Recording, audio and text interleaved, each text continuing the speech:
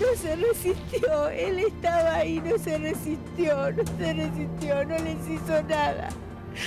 Lo mataron como si vos matase cualquier cosa. Lo mataron. Lo mataron de un balazo por defender a su esposa. A pesar de no oponer resistencia, apenas un grito de advertencia les bastó a los asesinos para dispararle a quemarropa.